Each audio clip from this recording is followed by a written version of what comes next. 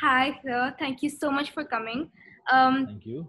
I have to congratulate first for completing 20 years of Akvarious Productions and two years of Karwaan, the film that you directed. So you're you're a film and theater director, actor, screenwriter, and you've written some amazing scripts for blockbuster films that India has produced. Uh, you know, I really wanted to know how you got into the industry. I mean, did you start with theater or films? And how did that? Uh, so, I mean, in a sense, uh, they're two fairly different industries. Uh, you know, I mean, uh, now, of course, you see a lot of theater actors being used in films, Right. uh, and that has been the case earlier, now more so. But uh, I actually uh, started very much uh, with theater. In college, I actually participated in a youth theater festival uh, where the company was born, which was in the year 2000. So, uh, very much with theater. Um, with the film industry, I started uh, as a writing assistant. Uh, I actually in 2001. So it all happened kind of simultaneously. So uh, and then of course we realized that uh, uh, we knew, but it hit me quite hard that theater is not always the most lucrative, and it takes like a lot of you know time to kind of uh, Yeah. start getting returns. So I was very fortunate that uh, the one of the gentlemen that I was assisting as a writer, Mr. Robin Bhatt, who's a very senior writer, he actually asked me to come on board as not an assistant but as a co-writer uh, on Okay. uh, on a project, and that project happened to be Krrish. Right, right. So I became one of the members of the writing team of Krrish, uh, which was which was a, a, a big film to be working on. It was a great writer's room to be a part of Yeah. and we took about a year to write that film. And when we finished writing that film, actually, uh, Mr. Rakesh Roshan asked me uh, if I would like to assist him on the film uh, Right. as an assistant director, and that was a great opportunity, and I wasn't going to let that go uh, because, in that sense, Krrish uh, became uh, my film school because I Mhm. was technically uh, involved from the first word on the page uh, to uh, the final deliveries of the entire film. So I kind of saw the whole gamut of everything that happens in filmmaking. Uh, I also spent a lot of that time in Singapore uh, because we were Yeah. shooting in Singapore. Right. Yeah, and I think uh, it was one of the first uh, films to have a really big tie-up with the Singapore Tourism Board. Uh, Yeah. And uh, yeah, they shut down Robinson Road and stuff for us, and we were shooting in that, so it was quite uh, Right, crazy. right. So you never wanted to be an actor. It No, I didn't Uh-huh. actually. I, uh, I I haven't really done that much acting work, honestly. Uh, the you know, I mean, I've been working now in the industry for about 17 years, uh, but uh, I haven't really done all that much. I usually land up uh, saying yes to acting jobs because uh, either a there's a crisis, uh, b there's a friend there's a friend who's asking, right. uh, or c I'm getting to travel abroad. So Okay. those are usually the usually the criteria for all the acting work that I've done. Because Mm. me and my family, you know, we watched Yeh Meri Family on Netflix. Yes, yes, yes, Such a cute show. So and you acted in it. yes. I I I, I got conned into acting into in it. Yes. Uh, uh, the the the director is a very good friend of mine, Right. and uh, the thing is, uh, so I had an association with TVF, the company that produced it. right. Uh, I had written two seasons of a show of theirs called Tripling. So I knew them well. And Sameer Saxena, who was the then the creative head of TVF, he is actually a very good friend. And uh, I conned him into acting in Karwaan. So he conned me into acting in his show. So yeah. right. What how it character does he play in Karwaan? he plays uh, Dulquer's ex-girlfriend's doctor husband, Oh, okay. uh, the one that they Yeah, run yeah. into. At, Sir, I would like you to talk about your experience of Krrish. We spent about a year writing it because I mean the thing is it was it was a very unique subject in uh, you know the Bollywood scenario at that point Yeah. of time, and uh, we had to make sure that it was uh, you know it, it made sense, it was believable, it was emotionally also in the right places. Uh, you know that it was kind of appealing to people not just as a spectacle but also emotionally. So I mean the writing process was a complex process certainly. Was it the first superhero film?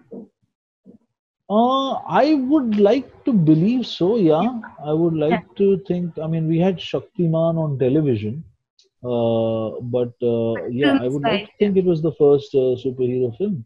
And uh, I think it was great for me because, like, when I kind of came on board, I was one of the first assistants to come on board. So I, uh, in the post production process, I actually moved to Chennai for four months. I was living in Chennai in a hotel for four months because our our, our special effects were happening over there. And for me, so that's what I'm saying. I'm saying that I basically got to do every single thing that's possible for someone to do on that film.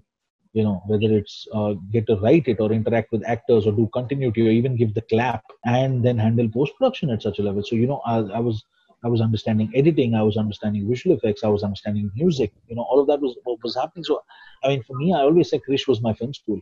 Uh, so, uh, and I was getting paid to attend. So, yeah. So. But it's been such an enriching experience.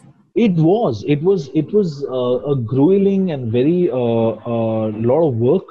It was three years of just non-stop work. Uh, but uh, I think when three I look back at it, it, three years from the time that I started writing it. Yeah. Uh, we started writing in 2003. It released in 2006, uh, and uh, I mean, I was at that point of time, I was just like, I want this film to end so I can go back and do some theater. But uh, I think now, when you look back at it, there was it was an invaluable experience in terms of. I think I think it's also kind of shaped the kind of filmmaker that I am, not in terms of the scale of films that I make, but in terms of just a work ethic. You know, uh, like just like you know, I, I always saw Mr. Roshan as a director had a lot of clarity. Mm. Uh, you know, he knew exactly what he was going to do. And like for example, there was one thing I learned from him, which was great, which was that, and I remember this happening in Singapore a lot. Like you know, uh, you know how everybody gets a call time, and then you know the director is one of the last people to show up on set. Mr. Roshan was one of the first people to show up on set. He used to come before everybody else. Uh, nobody else was on uh, like you know the the they would be setting up the camera team and all would be setting up and the lighting team would be bringing trucks in and he would come over there with a couple of his assistants and i was privileged to be one of those assistants and he would basically walk around that location for about 15 minutes and you were not supposed to disturb him at that time because he was doing his thing and he would basically be designing what he's planning to shoot that day and in those 15 minutes he would put down exactly what he was shooting uh, you know a shot division mm. uh, and then he would hand it to me and my job was that every single person in the direction team needed to know backwards what we were shooting that day. Because he was very clear that if any point of time, any actor or any uh, head of department turns to a direction team member and says, okay, next, what is our next shot? Mm. They can't say, I don't know. Because they have to have that kind of, and that filtered. And, and if, if someone didn't know, it was my ass on the line because I had not communicated, because there was complete clarity and that for me is so uh, it's been such a great lesson that you know that uh, you know going there and figuring it out you can't do that with people's time mm. you know you can't be kind of you know experimenting uh, on on without your homework. Yeah. Uh, and and uh, i mean the one thing that i've done and and uh, it's it's very annoying for most of my assistants i reach set before anyone. And then they really get hassled because then they're like oh shit we also need to be on set. And i keep telling them no you don't because this is my time. I want to be on set before the circus moves in you know. But the thing is that uh, just to kind of get there and get into the zone is is so important and i think that's something that i've learned from him uh, you know and uh, and I think another thing that I learned from him, which was very important, was that we used to shoot on film, right? We were not shooting on digital. Even Krrish was shot on film. So yeah, so we were shooting cans and cans, and it's expensive, right? And we were shooting with three cameras uh, at all points of time. So the thing is that uh, it was uh, so when you're shooting with film, you tend to be very economical as directors. Like you need to know your edit a little bit. I think with digital, what happens is you kind of do like sub Yeah. Let's just shoot all angles, and then we'll figure it out at the edit and and that's possible and it's not a bad thing because you have that at your disposal but somewhere my training was on film mm. so when i reach i i try very hard not to shoot extra i try to shoot what i want to shoot mm. uh, you know rather than kind of try and you know so i try and have that clarity so that you're not uh, you're not just unnecessarily shooting stuff right. you know because, because right. you can because that's not uh, the way to do it. I mean i think that you need to have a vision uh, and if you're leaving everything to the edit then that's not how i function. I mean i think that i have a fairly clear idea of you know the shot breakdown. So yeah. Okay. So uh, for Karwaan do you did you have a short list with you i mean for whatever you do you always have a short list no so the thing is uh, uh, i mean uh, i i was never as disciplined as mr roshan uh, it was something that i would kind of have in my head and then i would kind of talk it through with my associate and we would figure out how to do it or in Karwaan, particularly, uh, you know, with my DOP. Right. Uh, my my DOP was also a filmmaker himself. Is also a filmmaker himself. Avinash Arun is a national award-winning filmmaker, and he's a fantastic director himself. And uh, he's recently directed Paatal Lok, which is a very popular series. Yeah. Um, so it really helped in that sense that he was a filmmaker too, because uh, you know, like his uh, suggestions would not only be aesthetic; they would also be edit related. Like you know, Right. so there would be a little bit. So in that sense, Karwaan was a lot more collaborative Hmm. like you know where, where we were kind of working it out together and saying that this is what i want see the thing is there are there are a couple of things that you can do. Like you know when i have a when i have a dop of that caliber then you know for me i go work with the actors i block it and my dop kind of helps decide what is the best way to shoot it Right. you know. But like for example before that i was shooting a film called High Jack uh, and High Jack is a film that's set 80% inside a plane. So what happens is when you're shooting inside a plane then the thing is there's anyway very little space. So i think it's very important to know what your shots are Yeah. uh, rather than like oh i'm going to just block it here and then we'll figure out because we can't really figure it out. I mean there are only like six angles that you can actually shoot. But you know what's the best for the scene? So there was a lot more prep over there in terms of you know how do you uh, design this scene? Uh, you know rather than in, in Karwaan i think also because there was such a free flowing nature to the set i think i was very clear about how i wanted scenes to be played out.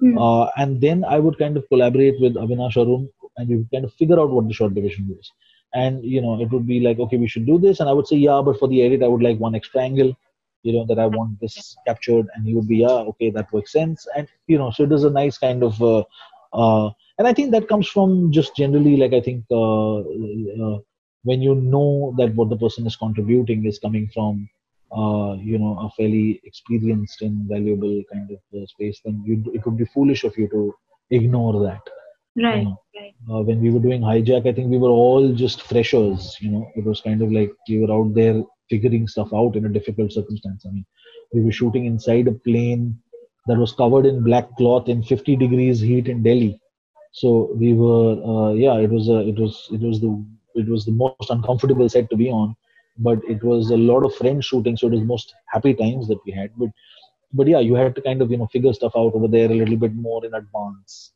Right. So- Right.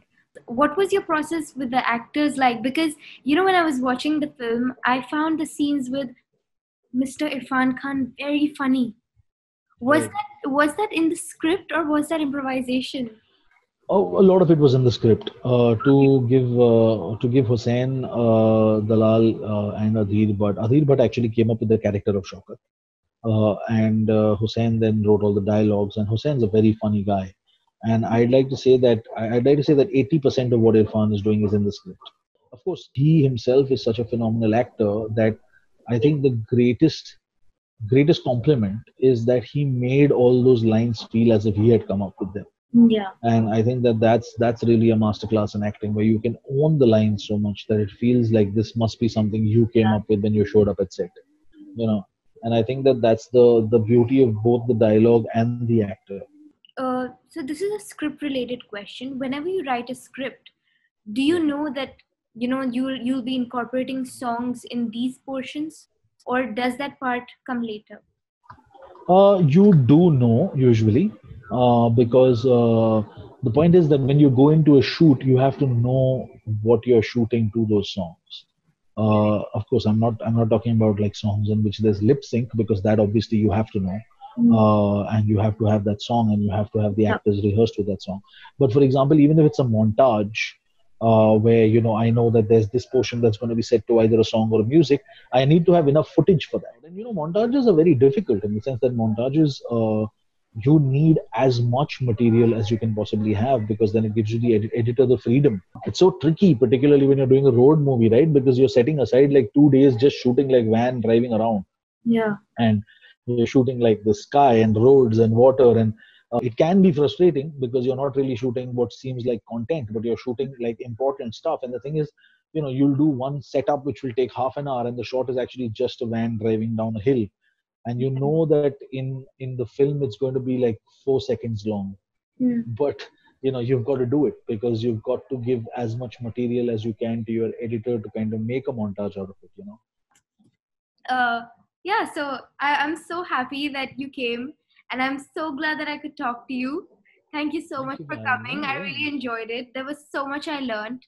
Uh, and I can't wait to watch Mismatched and all the other shows and films that you have in the future.